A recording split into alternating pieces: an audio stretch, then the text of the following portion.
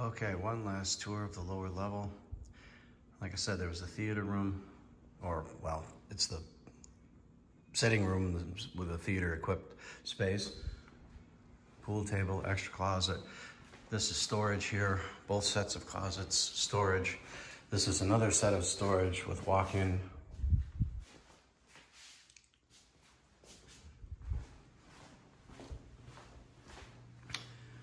Uh, another bathroom, stand-up shower. Another bedroom. Walk-in closet.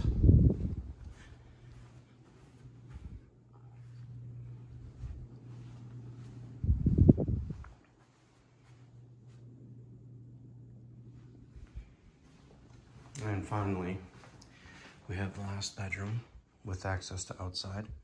Some built-ins for a little office space as well.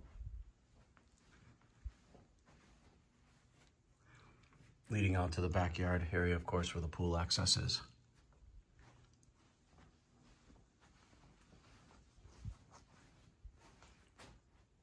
It's a full stand-up shower again with access to the outside. Walk in.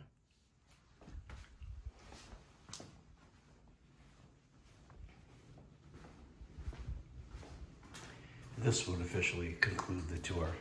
House is so big, 7,300 square foot. Plenty of options. Hope you love it. Thank you for watching again.